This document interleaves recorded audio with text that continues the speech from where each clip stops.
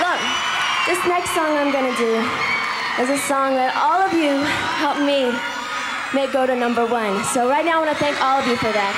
Thank you so much.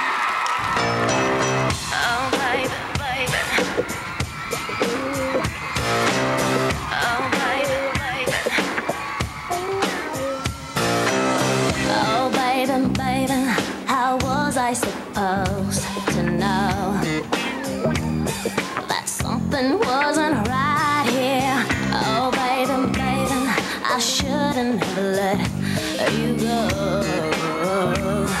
And now you're right